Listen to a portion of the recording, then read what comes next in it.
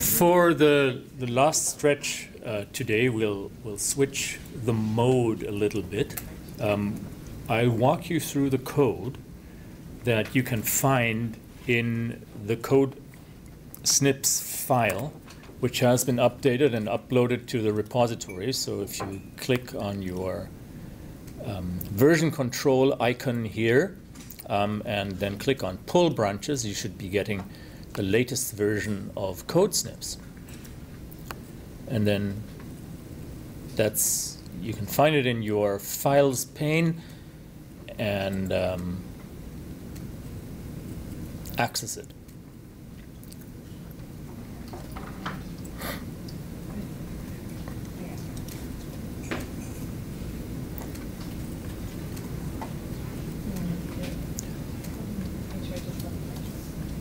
So what we've done, bef- so basically, going along this here uh, will will help us remain in the same state, and it'll be easier to to um, to download this.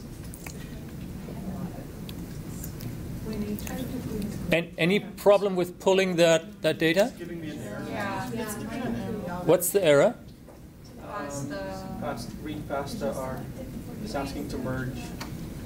Think please move or remove before you merge. overwriting read faster dot R. Okay, allow it to do that. Can you? No?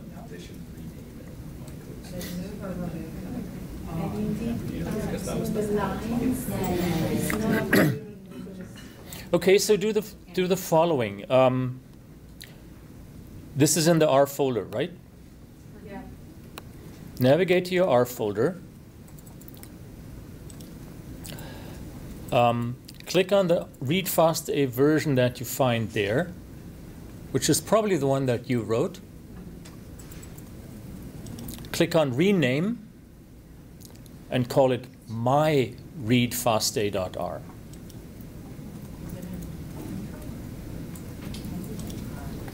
Where is it? R? So click on rename, call it my readfasta.r.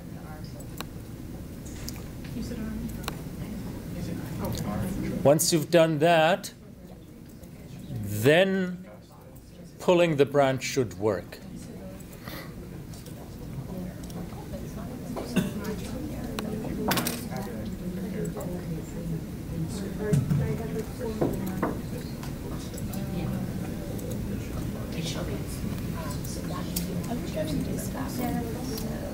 Yeah, that was the.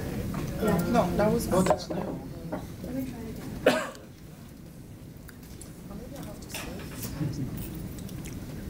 Okay, does it work now? Yes. Good. Mine is not working. Okay, so what's what's your error message? That's good. The, uh, your local change to the following file overwritten by merge. Please Yeah, local your, change to which file? uh, codesnip.r. Okay, so apparently you you modified codesnips.r and saved that, so there will be local changes. Do the same thing. Either delete your local version of codesnips.r, or if you have changes that you want to keep, then rename it to my codesnips.r. Once the file doesn't exist anymore, or it has been copied to a different name, then this can be downloaded from the repository.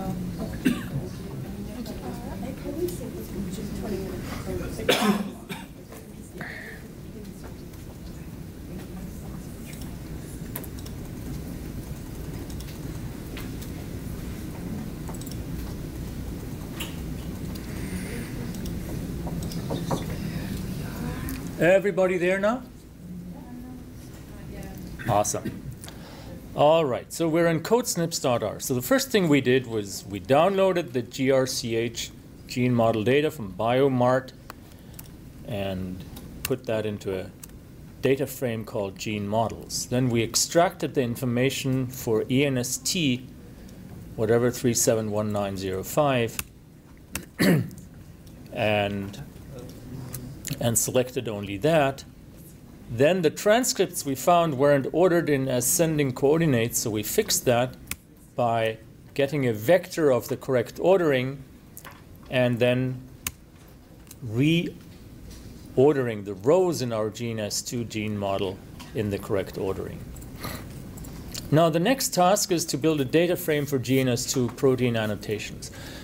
So we can put we can do this in very, very many different ways. the one that, that I thought would be would be useful to have looks like this. Um, we'll have actual coordinates. We'll have um, the actual nucleotides. Codon positions.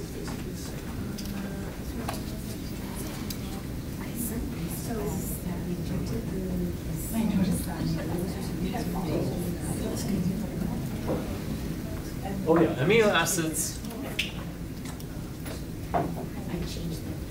And the position of where we are in, in the codon.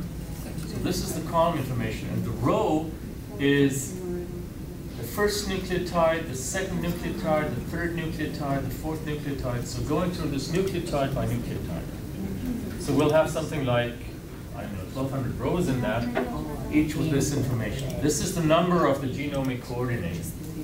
So it'll start from the start of the first exon, then it'll just increment in one until the end of the first exon. Then it'll skip a lot of numbers. So uh, it'll then skip to the start of the second exon, and so on.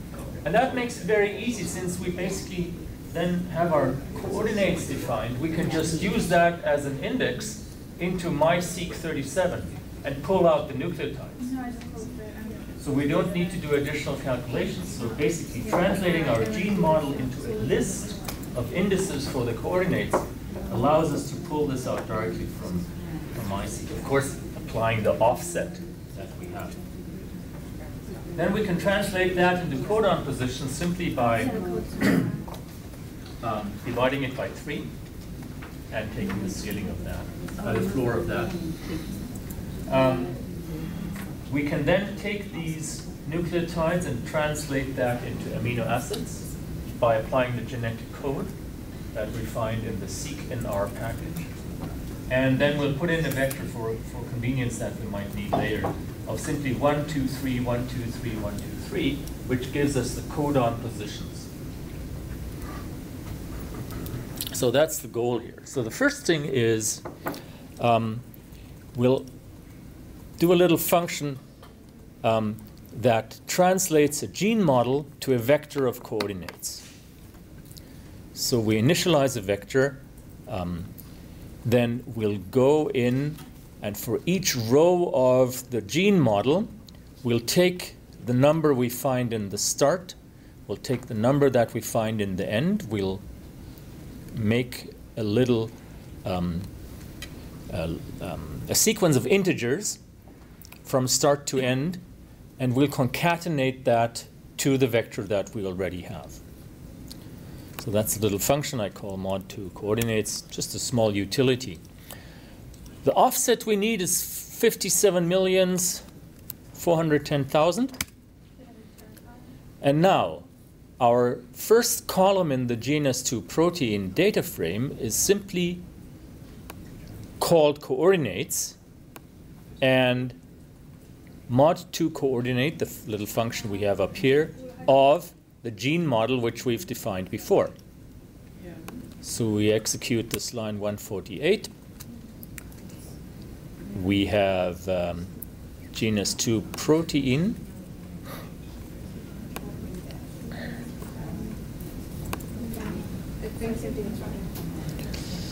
Right? So this is where it starts 57466 and it goes on and on and on until it gets to the next exon and so on. So this is simply a list of um, of integers which represent the genomic coordinates for the nucleotides in the coding sequence. So once again, this column contains the genomic coordinates for the nucleotides in the coding sequence, as determined by the gene model. So this has 1143 um, nucleotides. So very quick sanity check, 1143 divided by 3 is an integer. That's reassuring. The coding sequence ought to be divisible by 3. So after we've put everything together from our coding sequence, from the gene model, we actually get a number that's divisible by 3. That makes us happy. All right. so next, um, the the nucleotides for that. Well, that's just the first column which we've just defined, the coordinates, minus the offset, taken out of my Seq 37, which we've already downloaded. So we define the second column here. ATGGGC TGC What do we expect in the first three nucleotides? ATG, the well-known start codon. So we get that. That's also very reassuring. We're kind of on the right track here, it seems. What do we expect as the last three nucleotides? Which is TAA, TAG, TGA, one of these three. So do we have that? Let's see. Um, we have a TAA here as the last three. Yay, again, that looks good. The third column which we want is codon positions. And we simply make a little vector, one, two, three, and we assign that to the column dollar codon positions. Now the column dollar codon positions is much longer than one, two, three, right? Mm-hmm. It's a data frame with 1143 rows. So that's a much longer vector than this here. Now, if we do anything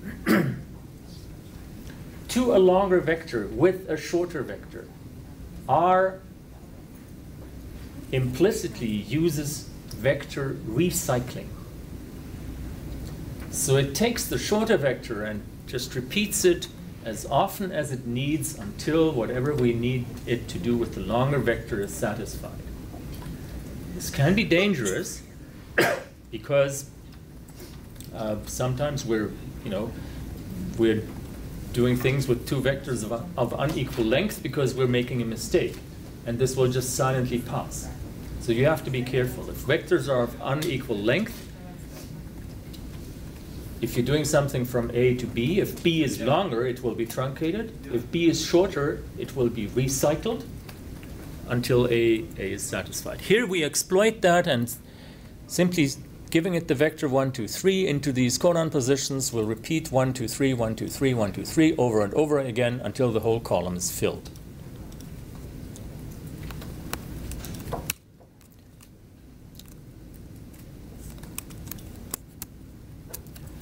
Um, the header, of course, 1, 2, 3, 1, 2, 3, 1, 2, 3. Um, the tail of that is 1, 2, 3, and it ends as expected. Still identifying the correct uh, codon here. So there wasn't any, any frame shift or, or, or deletion in there. All right. Now to translate this, we use a function from library seqinr. You have already installed seqinr on your computer. Um, if you haven't, if you haven't done the pre-work tutorial and you haven't installed seqinr, the first command that you need to uh, emit here is install packages um, in R. Note that when you install packages, you put the package you need into quotation marks. Um, if you load it as a library into your current session of R, you don't use the quotation marks. At that point, seqinr is an object, an R object, which is known to the system. So issuing the command install packages seqinr accesses CRAN, the uh, comprehensive R archive network, where many, many of the R packages are stored. It downloads it, it puts it into the right location on your computer, and it becomes available. Um, moreover, there is a team of volunteers working to keep CRAN updated and to make sure all the packages work and that everything that these packages do is as described and no malicious code is inserted. It really can't be overstated how useful the infrastructure of maintaining and distributing packages is for R and how well done this is. No software project comes close to what R is doing. No open source software project comes close to what R is doing with CRAN and with Bioconductor. I've just recently heard of um, problems they are having with Node.js, with uh, JavaScript virtual libraries, um, silently installing Bitcoin miners on people's machines. I am not surprised. uh, JavaScript is uh, software packages is a mess, and when we download software packages from you know Python projects or from JavaScript projects or whatever, we trust that they do what they want and they don't install ransomware on our computers. When you when you download uh, um, things from from uh, GitHub, that's not guaranteed. So when you run your uh, installation from my project directory, um, there's no guarantee that that didn't install ransomware. Actually, Anne uh, suggested that to me. We should we should be doing that. I was joking, guys. I was joking. She's joking, and I'm not doing that. So if you actually do find ransomware on your computer after this workshop, it's not me. I, I promise, it's not me. Maybe you installed something with JavaScript instead. Um, anyway, so installing packages from CRAN just works. And it can't be overstated how useful this is in the bioinformatics um, landscape. So install packages our library, our, of course, you only need to install the package once or you know once every few months or so uh, when there are updates. But you need to run library whatever in every single function. Having seqinr um, gives us a function called translate uh, that translates nucleotides into amino acid sequence. Um, by default in frame zero, i.e., starting with an ATG in the first position. Uh, in the forward sense, um, you can you can tell it to uh, translate backwards, and you can tell it to translate in, in different frames, whatever. It's flexible about that. So if we take the nucleotides column that we just extracted from MySeq37 and translate that into a vector called X, it starts with MG, CL, GN, SK, and so on. Is this correct? How would we know? Well, for example, we can look back where we looked at um, the gene in UniProt that we accessed, which has the sequence somewhere. MG, CL, GN, SK. Is that what we got? MG, CL, GN, SK. Again, thankfully, um, we're getting the correct information. So the nucleotide sequences which we picked up with our gene model from genomic coordinates actually seem to be giving us CDS, coding sequence that produces the right amino acid uh, translation.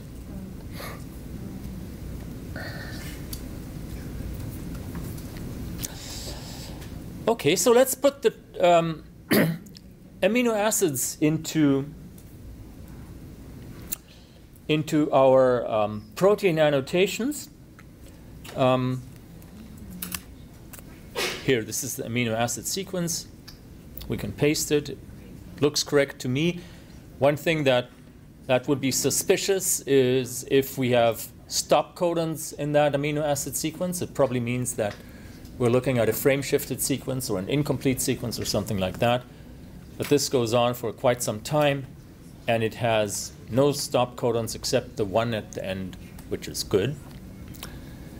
Um, we'll build a column $AA to hold amino acid information, but um, we only want that in the first positions. We'll put blank characters into all the other positions.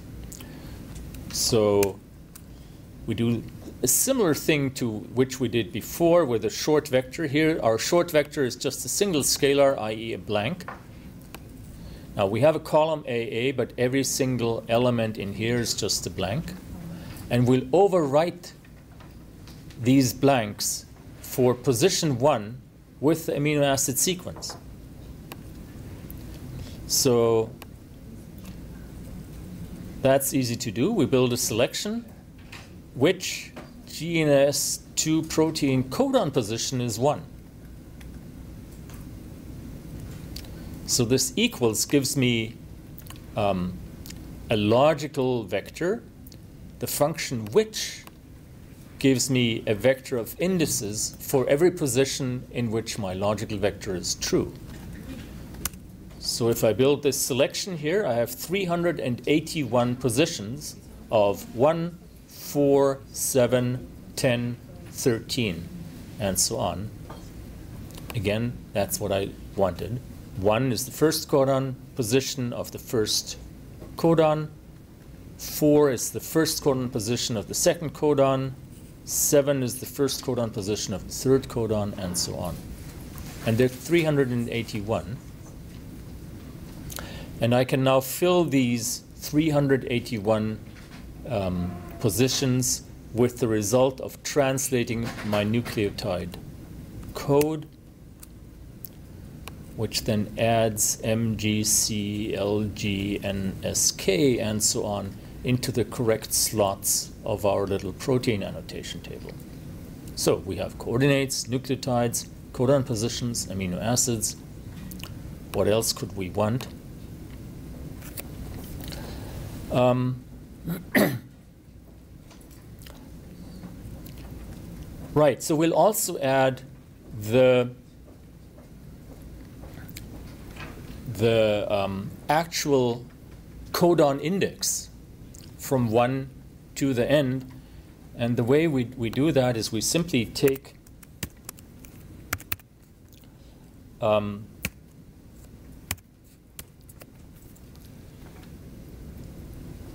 the, the index going from 1 to the end of the file and divide that by 3. And then we take the first position and um, subtracting 1, dividing by 3, and adding 1 again. So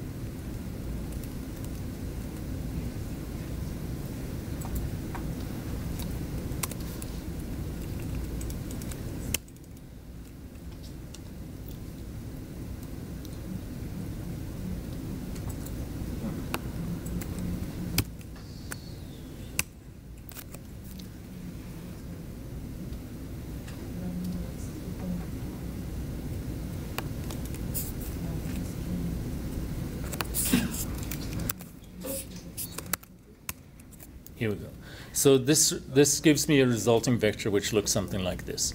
Three ones, then three twos, then three threes, then three fours, and so on, and so on, for a total of um, 1,143 observations. We could have done something similar with, uh, with paste and repeat, um, but just calculating this uh, in this way is, is easy.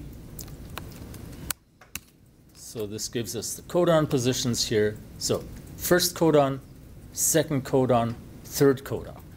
And that's nice because now we can basically take a nucleotide coordinate and we can immediately tell what the codon is that this belongs to in the sequence, even if the nucleotide, the genomic coordinate, is split across exons and there's thousands of bases in between.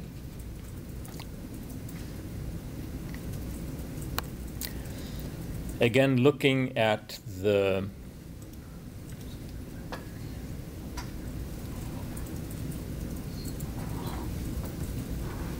end of this all. So last codon, um, 381 is actually a stop codon, and that tells me there's 380 translated codons in the sequence here. All right, so that's protein information. If you've executed that, you now have this object GNAS2 protein with that protein information. Now let's um, pull out the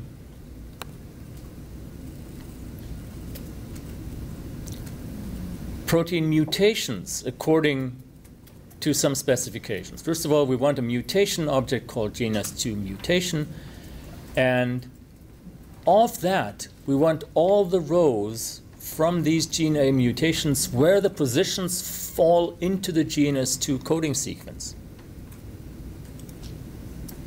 So this is where in comes in handy because we can say which of the mutation's start codons is in the GNAS2 protein coordinates.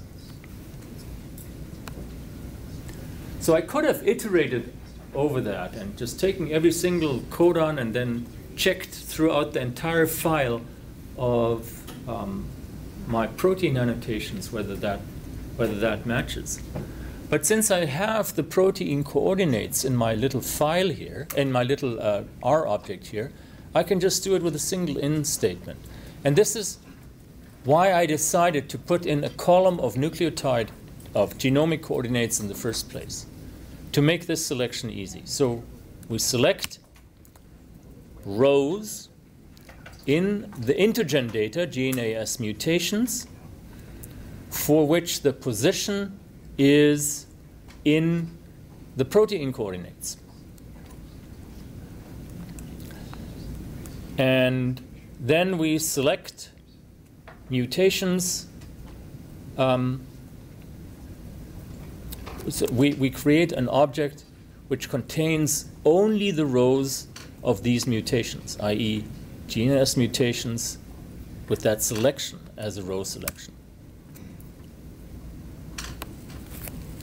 So we have 270 mutations which um, fit the bill, which are somewhere in the protein positions, and where um, the start coordinate actually is part of our coding sequence.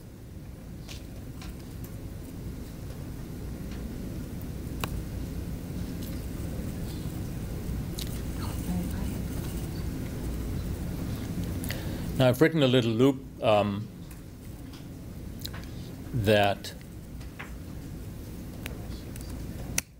confirms just by visually plotting them or printing them out that they're all correct.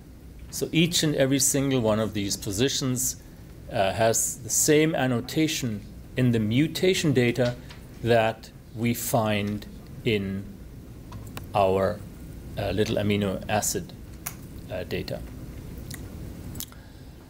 And then we can answer things like uh, how many of each do we have at each position, um, Are there codons that are affected more than once, and so on? So this is the data we need.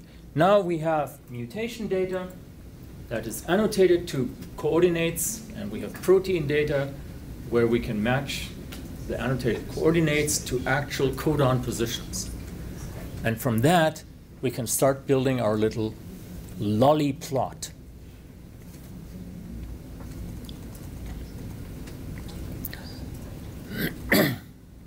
Um, so, what categories of effects do we have? So, if we look for the unique here, we've, we've removed the splice things. So, we have missense variants, stop gained, frame shift variants, and synonymous variant.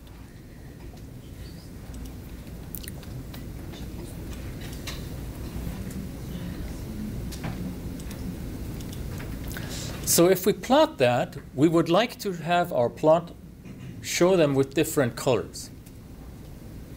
But since we're smart about choosing colors, we're not going to make them red, green, yellow, magenta, and cyan. We're going to choose colors that, um, that kind of make sense, where frame shift and stop gained kind of has a similar color because it has the same effect of a truncated mutation.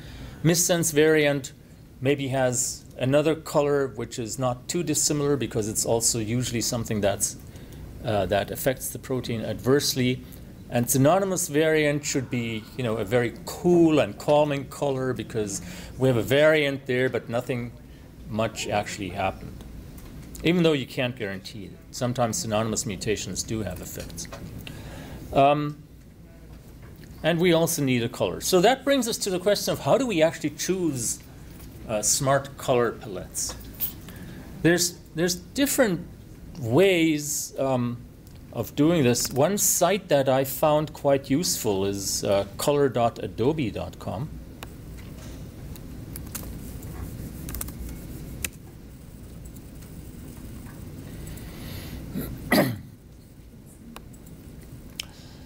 and um,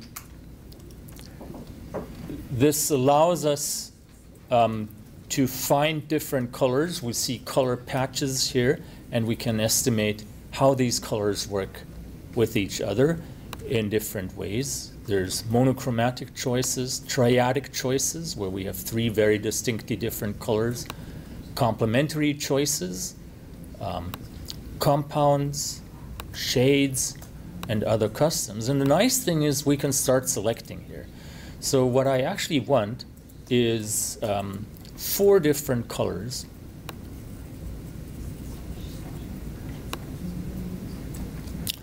Um, I forget how to restrict it to show me only uh, four here. Um, oh, I need a custom.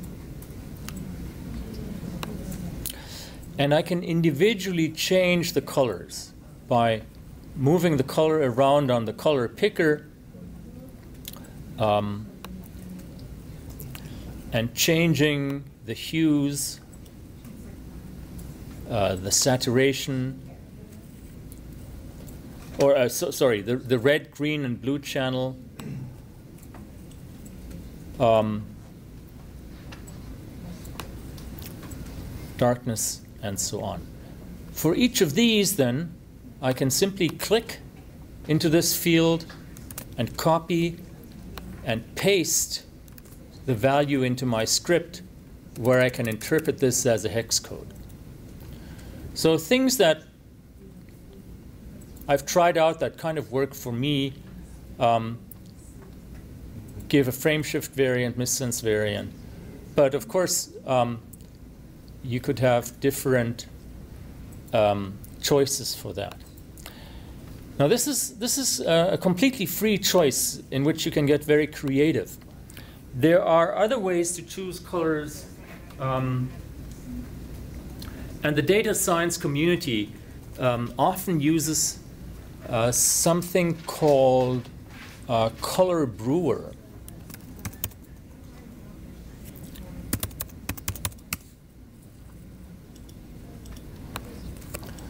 Color Brewer.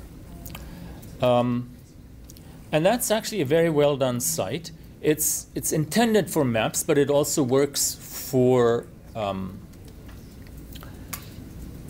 it works quite well for the kind of analysis that we're doing.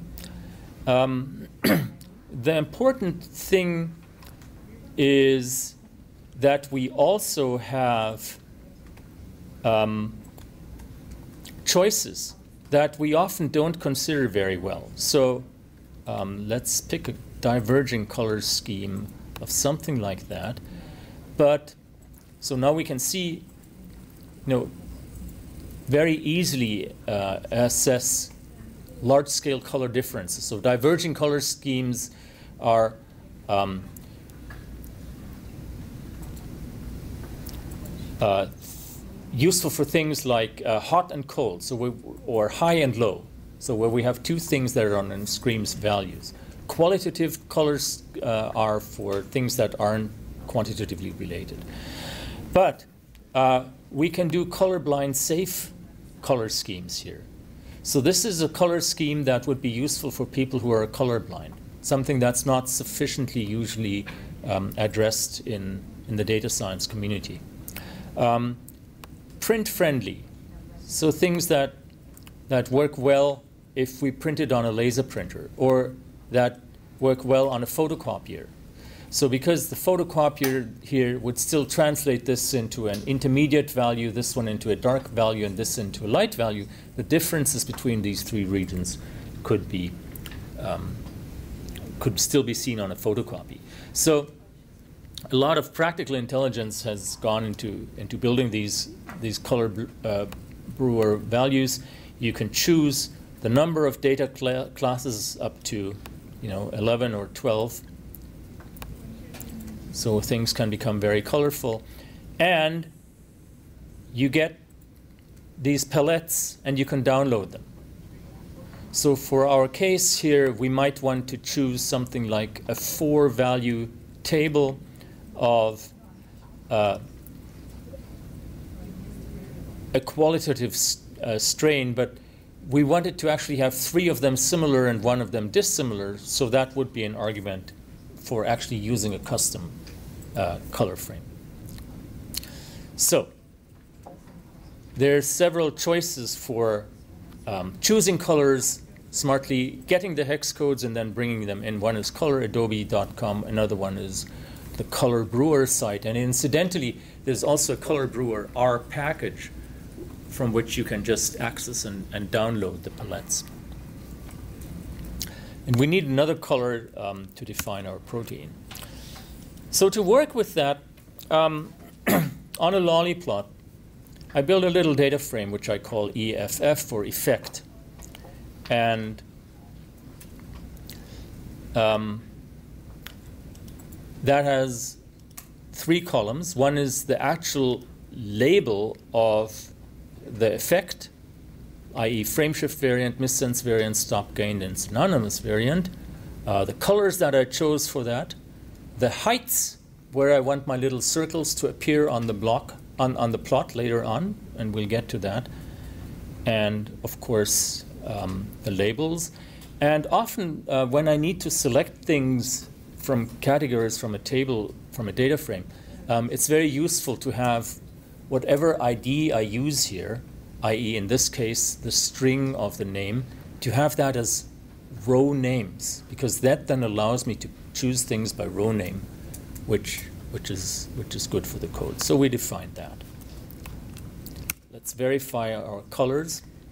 Uh, incidentally, I'm, I'm, I have them not as raw color values, but I've defined an alpha channel to have them slightly transparent. And uh, to verify the colors, we can just plot them as a bar plot um, add the labels there. Um, yeah, so we can we can check. So these are the colors that are going to appear on our plot. You could easily change them. Now, to actually plot them, we want to figure out which mutation effect we see on which amino acid. And that's something we simply do by building a matrix of mutation effects.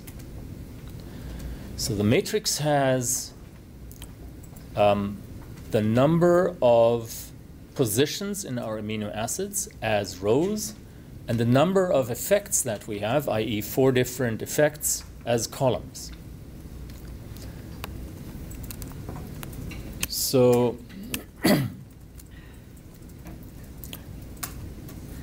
our uh, positions in which we observe mutations are 49, 60, 83, 95, 127, 141, and so on. So not all amino acids are affected, so we don't need to test all of them. Only some of them are affected, and we, we select them here.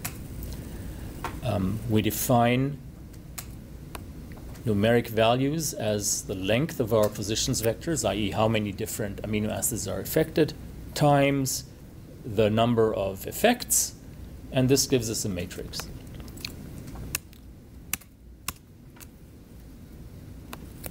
This is what the matrix looks like. So initially everything is zero. Um, we have a column for frameshift variant, missense variant, stop gain, and synonymous variant. We have a row for amino acid 49, amino acid 60, and so on for all of the affected amino acids in our protein. Now, we can iterate over our mutations. For every single mutation, we just determine what is its effect and which amino acid is affected.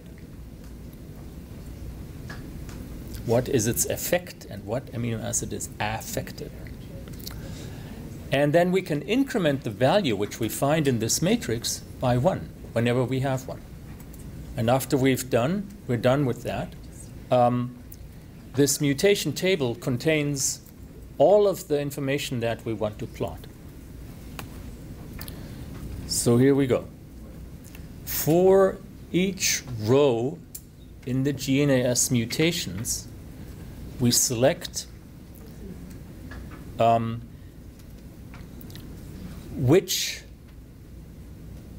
protein coordinate this start position falls into. Uh, we translate the position into a character. Um, we get the effect, and then we increment the correct value in our mutation table by one.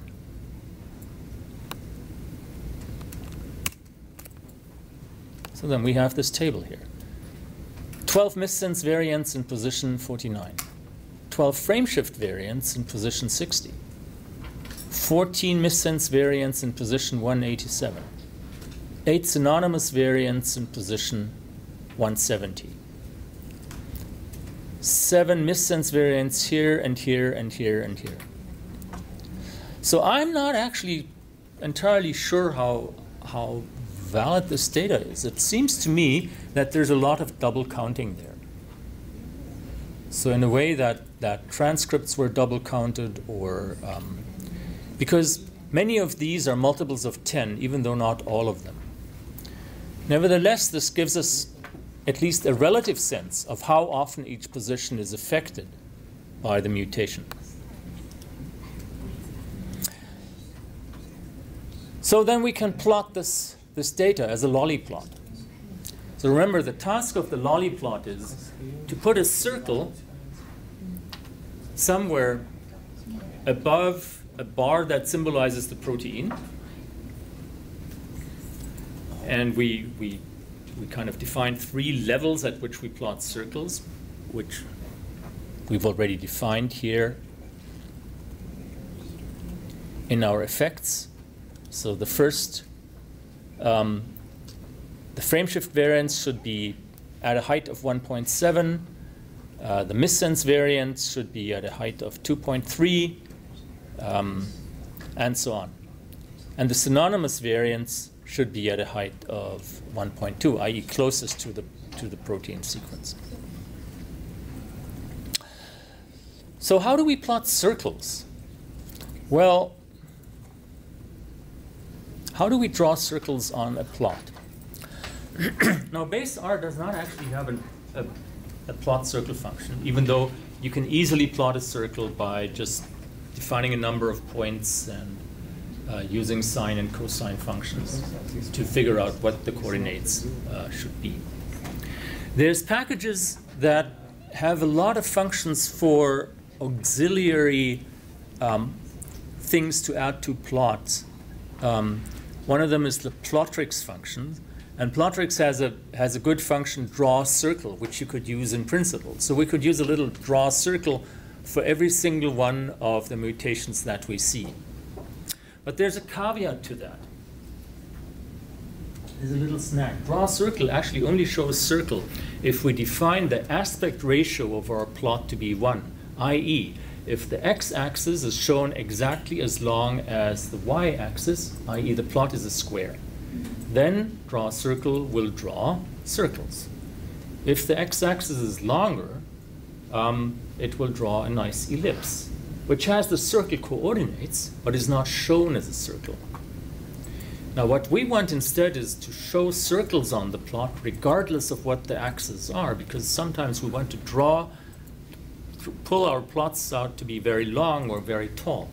And that shouldn't be deforming our plots. So we can't go with actually drawing um, the correct, uh, drawing an actual circle on the plot without doing, you know, a lot of coding in the background to to uh, um, compensate for the distortion um, which is induced here.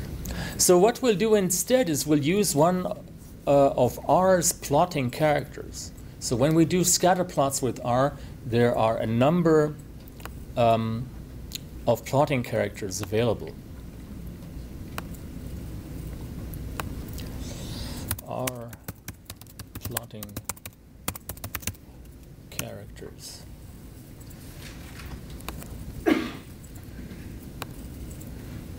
Something like this here.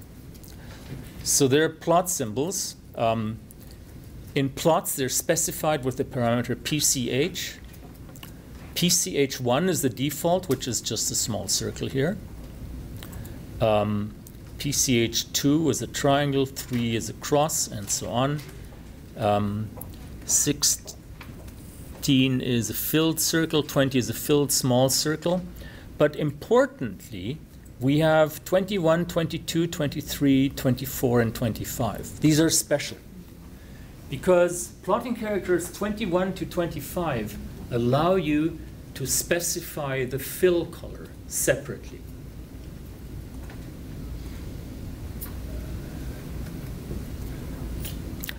So these can be filled with different colors.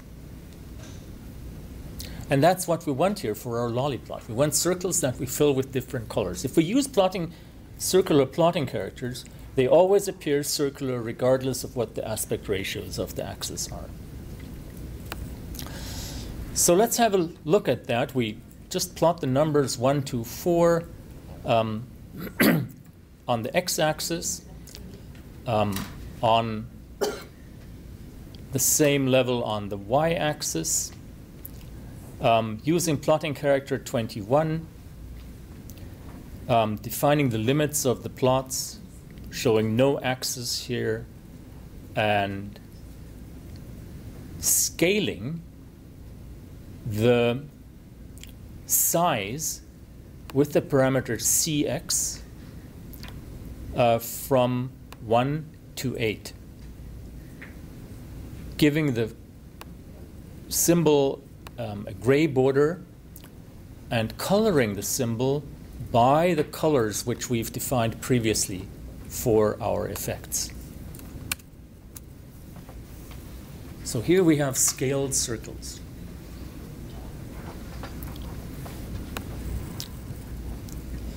Right? So if we distort the frame, as you can see, um, initially they change their shape, but then when the plot is recomputed, um, after every change of the aspect ratio, they become circles again. So these things remain circular with different aspect ratios. And we can scale them um, with giving them different values for cex. So in this case here, the values are 1, 3.3, 5.67, and 8. And we can color them with values that we take some, from somewhere. We can either compute the values or we can take them from wherever we are stored. Uh, we have them stored or um,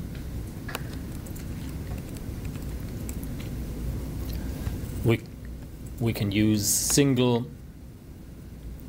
values that we take uh, from the list um, of colors.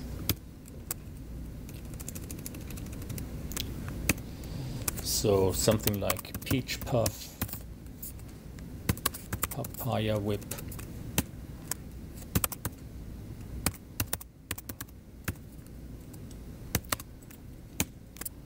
What was another one? Oh, we, we looked at Misty Rose and uh, Fire Brick. So we, you know, we can define different colors in that vector. now, the size that our circles should have should depend on the number of mutations we see.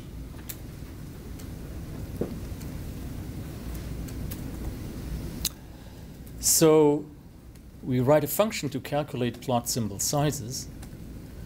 Um, number of mutations to CX values, where we enter the number of mutations and some n max value, which is the largest circle that we want to see in our plot. And that, and with that, we simply um,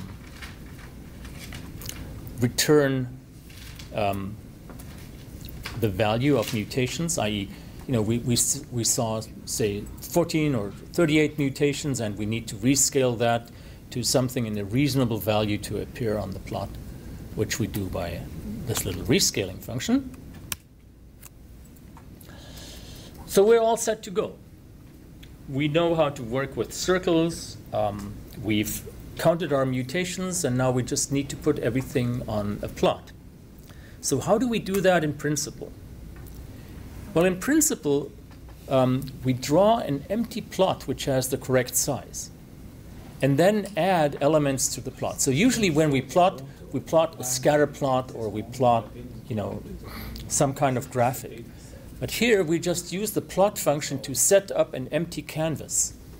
And then we use, use auxiliary functions like lines, points, rectangle, polygon, segments, or text to draw on that canvas whatever we want to see. Then we should also add axes, and we should add a legend and a title to the plot. So the first task to plot is an empty frame simply to set up our coordinates. So we plot just two numbers, 0, 0. It doesn't matter what it is. We define the plot type to be n, none. So no, nothing is actually plotted when we do that. We define the x-axis limits to go from 0 to the largest um, protein codon index. We define the y-axis limits to go from 0 to the number of effects plus 2. We define an X label, GNAS 2 sequence position. We define a Y label of nothing. We define a main title, and we switch axis off. So this is our empty canvas. That's what it looks like. Just a title, this here, and invisibly here we have a frame of coordinates that cover the length of our protein in x-axis and give us enough space for our lollyplot in the, in the y-axis. Then we can draw a rectangle for the protein. Simply rectangle going from 1 at a lower coordinate of 0 to the maximum codon to a higher coordinate of 0.15. And we give it a color that we've defined before as a kind of a bluish tinge for our protein. So here's where our protein goes. So this now defines the coordinates from 1 to the end of our protein. In numbers here, this corresponds to the amino acid positions of our codons. And we can put an axis on the bottom. So this are, these are our amino acid positions. Our protein is 380 amino acids long, so you can see how that matches to these coordinates.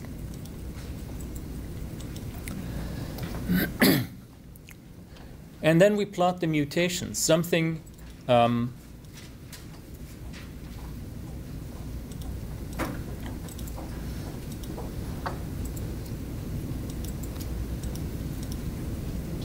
that we need to scale them correctly is we need to know the number, the maximum number of mutations which we see, which is just uh, the maximum number in, in our mutation table. And then for each row in our mutation table and for each column of our mutation table, if the number of mutations is greater than zero, i.e., we've actually observed mutations in that position, i, j of our mutation table. Then we draw something. What we draw is we define um, which row name we, uh, which um, yeah, which, which row name we're going to be using. Um, so what the position is, the x position, we define the y position of whatever we're plotting from the effect table. We define the color that we're using. Um, then we draw a line along the x position of the affected amino acid going up. And then we draw the circle with the points command. So points draws individual points like on the scatter plot, but draws them individually. So the points command is here, put it on x, y, which we've just calculated where it should need to go. Use plotting character 21. Scale it to the result of our N2CX function. And use as a background color um, the color which we have defined before in our effects table. And running that finally gives us our lollyplot. So for every single mutation, we've now um, plotted um, the position, the scale, um, a color which corresponds to the effect. So for example, frame shift. Uh, I, think this is frame shift. Um, no, stop. We'll see.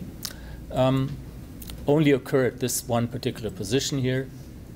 Um, silent mutations are here, and most of the mutations we observe in our coding sequence are uh, missense mutation.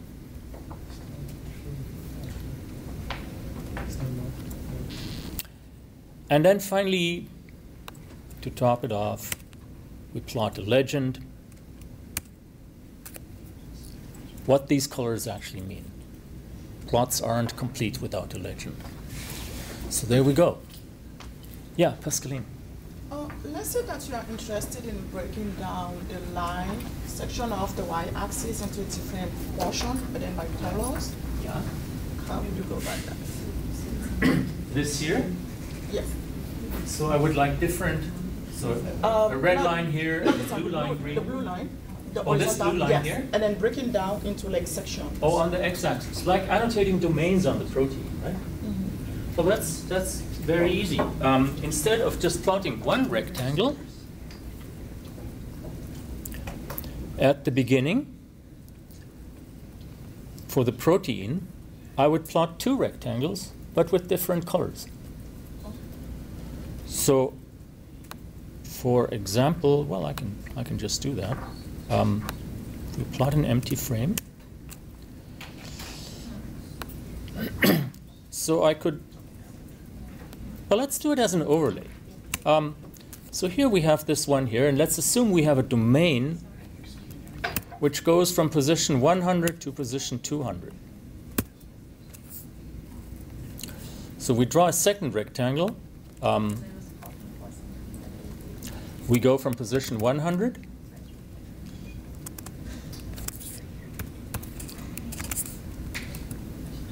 slightly below zero, and um, we go from we go um, on the right hand side to position 200. Um, also make it slightly larger, and the color should be whatever fire brick.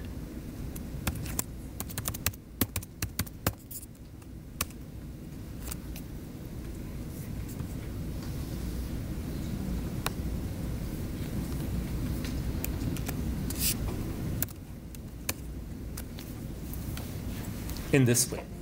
So we can simply put rectangles over rectangles over rectangles and we can add circles wherever we want. We only have to calculate the coordinates for them and then we can use the function for rectangle and for line and for points to put everything where we need it. We can also add textual annotations with, with text. Um,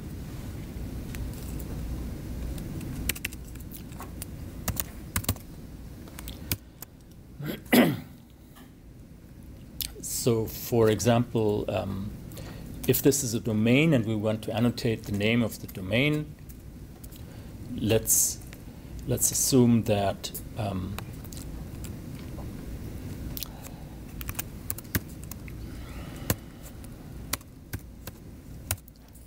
we put the text at 150.0.5 and um,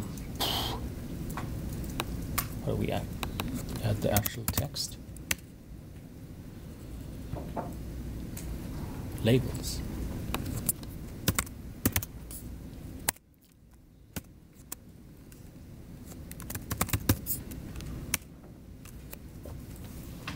And we can put text there and scale it and move it around. So we're very flexible in actually adjusting our plots, customizing them. Uh, we don't need to take plots and then import print them and to a PDF and then import the PDF into um, Windows Draw and then start scratching around in that. We, we can easily define that. The advantage of putting this all into a script is that it's easily changed again. Um, if you don't like the colors and you have this all in, in, a, in a JPEG that you constructed in Photoshop, um, it's going to be very hard to change. Um, here you just change your hex codes and, and recalculate your plots.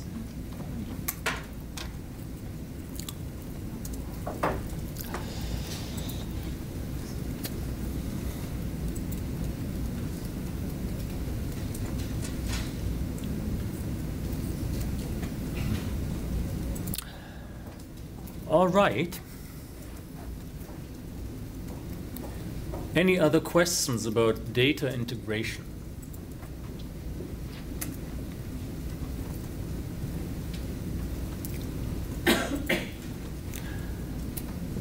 Now, there's so much more which we could have done. Actually, one thing that I was planning to do with you is to work a little more with numeric data. So right now, we've only used uh, essentially text data, sequences and translating sequences and um, pulling sequences from databases, and that's, that's a large part of our daily bread. But um, something that, that we um, we also work with, of course, is data that, that contains numbers. And I've, I've constructed a little example project. Um, if you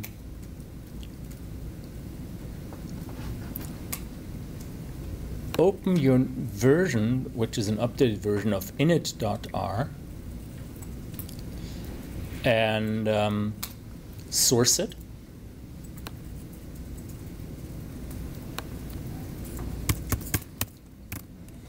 and then type init.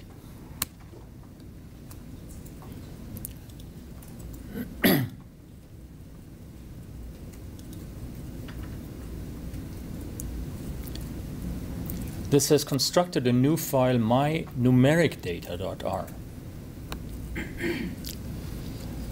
which contains a scenario of working with protein structure data and doing some annotations on the protein structure data. So this, this code is, is not as open-ended for you to explore things. It's code like you know the thing we've walked through in the code snip. It's written for you to read it and experiment with executing this and and to code things and, and to try them out based on the templates which I provide here. So what we do in this code is um, we load a library bio3D, um, we load a file 6AU6, um, which is the protein structure that was determined for GNAS2. So what you can do when you when you download that, you can look at it in your favorite molecular viewer, and you can ask yourself where are these mutations actually found? Which parts of the protein are mutated? But what we do then here is we explore that as a as a piece of protein structure, and we compute a few Ramachandran plots, i.e., plots of backbone angle coordinates. Um, who here knows what a Ramachandran plot is? Great. Some, not not everyone, I think. Okay, so my, I'll just demonstrate this briefly. My favorite molecular viewer is Chimera. I, I look at protein structures in Chimera. Um, this is a model of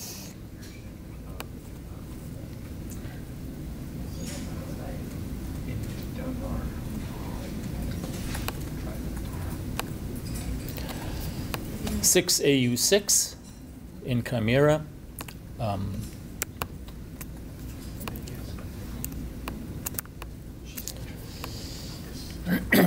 it's a um,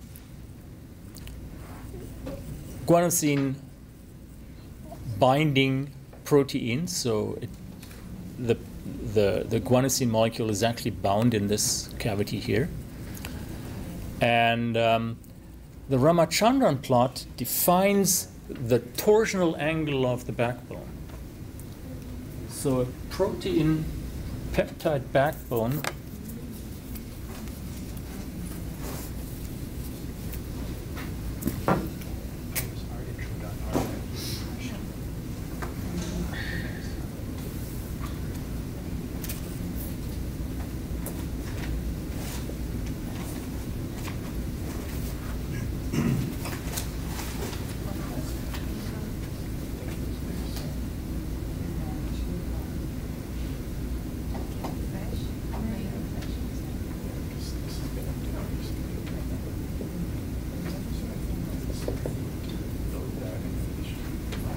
kind of looks like this.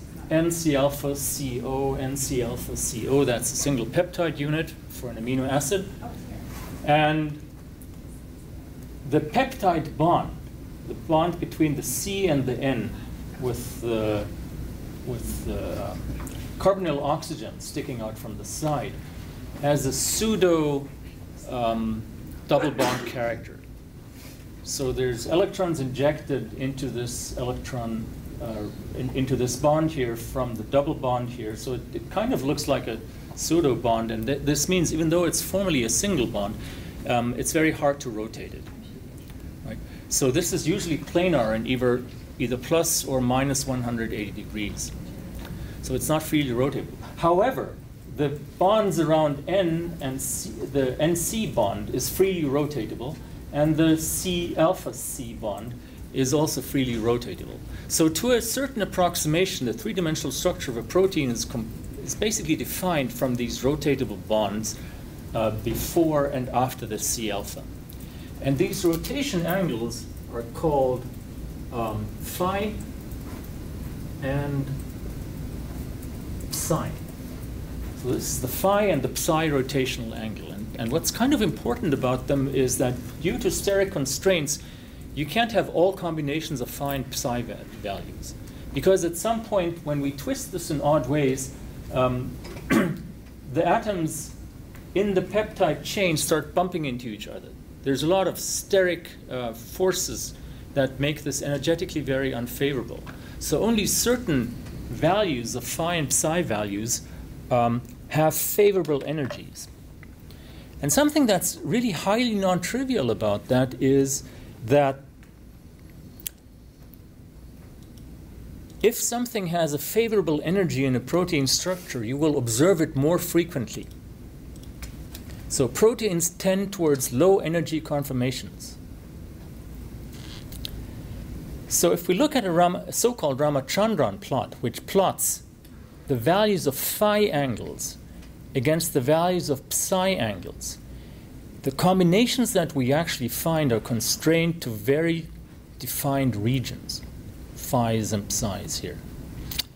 And there's a cluster in this region here which corresponds to, anybody know that? Biochemistry 210? Uh, There's a cluster here which corresponds to alpha helical conformation, and there's a cluster here which corresponds to parallel and antiparallel beta strands. There's a region over here um, that's actually disallowed for most amino acids because um, you have steric uh, conflicts with the C beta atom that bumps into the carbonyl oxygen of the next amino acid. However, if the amino acid has no C beta because it's a glycine, then this, this region is allowed, and you usually only find glycine residues in this little in this region here. This protein is somewhat different. We have a number of residues here. Um, some of them are glycines, some of them are not glycines. And once you calculate in our little script which ones are glycines and which are not glycines, um, you can identify them on this, on this plot here, and you will find some of the non-glycines are in loops that presumably have very flexible conformations. Who knows? Maybe this is an experimental error. And the other ones are close to the binding site of the guanine molecule. So there's a strained conformation close to the guanine molecule, which has implications for the mechanism of the protein. You actually find that relatively frequently. There's a kind of a bipartite, um,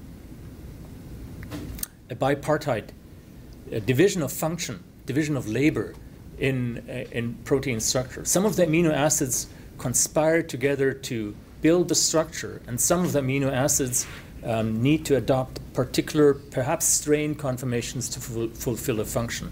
And in this case, you will, you will see amino acids that are close to the guanine uh, are in a strained conformation because they just need to somehow bind the molecule very tightly. And that comes at the cost of constraining them through the other amino acids that basically provide the matrix in which such a strained high en- energy conformation is possible. So these are numeric values, phi values and psi values, just to illustrate what these numbers are.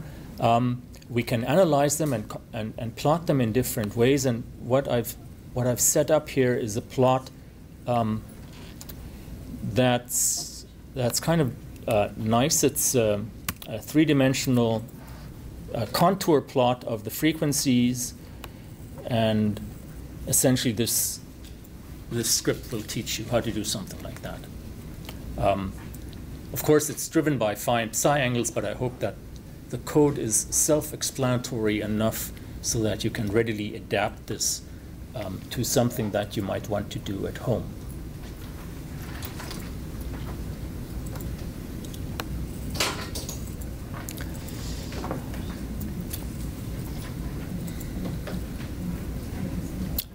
So that's the numeric data, which is in your um,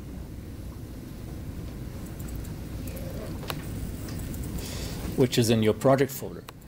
Now, I would, I would kind of normally conclude in saying this is all I wanted to say, and thank you very much. This is certainly not all I wanted to say. I would have wanted to say a lot and a lot more. I think, though, I've said enough.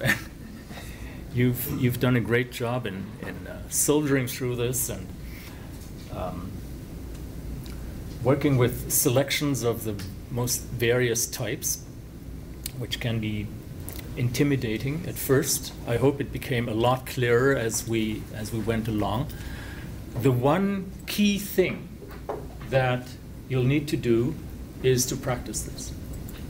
If you don't pick up uh, coding R in the next two weeks at all again, probably most of this will be lost on you. Um, so, define little projects to be working on and start coding. Um, do a little bit, you know, 10, 15 minutes every day. Um, think of little projects. Um, try to break them down step by step. Uh, try to solve them into scripts. Try to make your script do something amusing, inspiring, perhaps even useful, perhaps something that will lead to a project which will later be published somewhere. Um, but practice, do things, and play with it. If you're stuck, unfortunately, we won't see your red post-its anymore. But you're free to shoot me an email, and um, I'll see how I can help you with advice. Um, some of you, the very intrepid ones, are still going to be around tomorrow. The other ones I won't see. I think you've been a tremendous class. I, I've seen amazing progress here from where we first started. And with that, I'll officially close this part. Don't run away yet. Anne has certificates and surveys and other things that you still need to do. But as far as I'm concerned, thank you very much.